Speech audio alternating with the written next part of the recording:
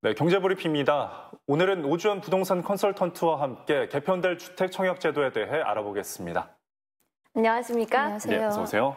네, 최근 광주를 비롯해서 일부 지역에서 분양한 아파트들이 이 높은 청약 경쟁률로 마감되는 사례가 늘고 있는데요. 그 이유에 대해서 설명해 주시죠.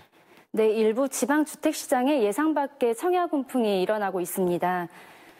청약제도의 개편안이 예고가 되면서 청약 통장을 아껴오던 대기 수요자들이 청약에 적극적으로 뛰어들고 있기 때문인데요. 이달 지방에서 분양한 단지 중에서 절반 이상이 청약에서 마감이 됐다고 합니다. 특히 최근 주택시장이 후끈 달아오른 광주와 부산 등에서 공급된 아파트들은 서울 못지않은 높은 경쟁률로 마감이 되고 있다고 하는데요. 청약제도가 개편될 예정인 가운데 이른바 막차를 타기 위한 유주택자들의 청약에 관심을 가지면서 더욱더 이런 현상이 높아지고 있는 상황입니다. 아직도 입지가 좋은 새 아파트의 관심은 여전히 높아 보이는 상황입니다. 네. 네. 어, 이 개편될 주택 청약제도 내용에 대해서도 소개해 주시죠. 네, 정부의 부동산 정책이 발표가 되면서 주택 청약제도에 약간의 변화가 생기는데요.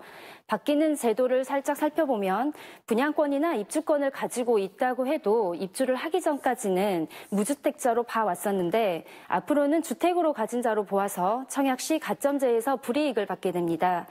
그리고 주택을 한 채 소유하고 있는 자에게도 추첨제를 적용을 해서 당첨의 기회가 있었지만 이제는 주택을 소유한 사람에게는 1순위의 기회마저도 없어지게 되는데요. 또 부정청약이 적발이 되면 기존에는 3천만 원의 벌금이 부과가 됐었습니다.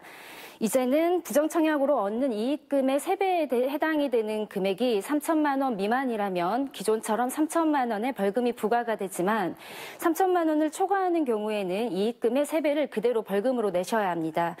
이 밖에도 공공택지 전매 제한과 부정청약자 계약 취소 내용 등이 개편이 될 예정입니다. 네.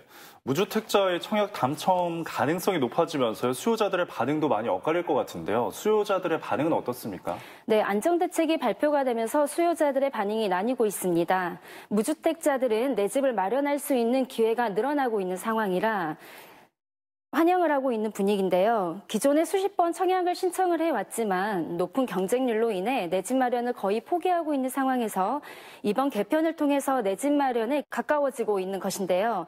하지만 반대로 청약을 통해서 집을 넓혀가려고 했던 1주택자들은 불만이 고조가 되고 있습니다.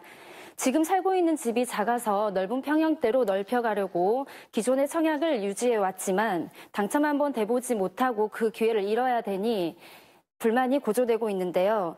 부동산 과열을 잠재우기 위한 대책이 정작 실수요자들에게는 필요한 대책은 찾아보기가 힘들다라는 비판이 늘어나고 있는 상황입니다. 네. 그렇다면 이 광주에는 어떤 영향을 미칠 것으로 전망하십니까?